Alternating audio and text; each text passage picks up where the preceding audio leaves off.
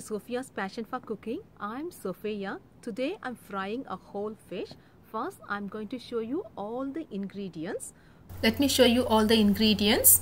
1 teaspoon of cumin powder, 2 teaspoon of coriander powder, 1 teaspoon of freshly ground black pepper, 1 teaspoon of red chili powder, 1 4 teaspoon of garlic powder and 1 4 teaspoon of ginger powder, half a teaspoon of turmeric powder and salt to taste. You may use ginger garlic paste. Today I'm using rainbow trout. I removed the scales and cut the fins off. Washed it with salt and white vinegar several times. Make slits on both sides so the masalas will get inside. Mix all the masalas and uh, add 2 teaspoon of lemon juice and give it a good mix.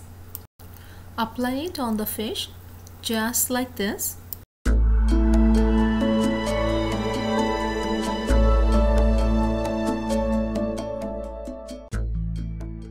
The longer you marinate, the more taste you'll get. Apply some olive oil and spread it well. If you want, you may leave it covered in the refrigerator for a day. Now I'm going to leave it in the refrigerator for a couple of hours. After 2 hours in the refrigerator, in a big frying pan, add olive oil over medium heat. Once the pan is hot, add the fish and fry for 5 to 6 minutes on each side. It cooked well. Take it off from the heat and let it stand for 5 minutes before you serve.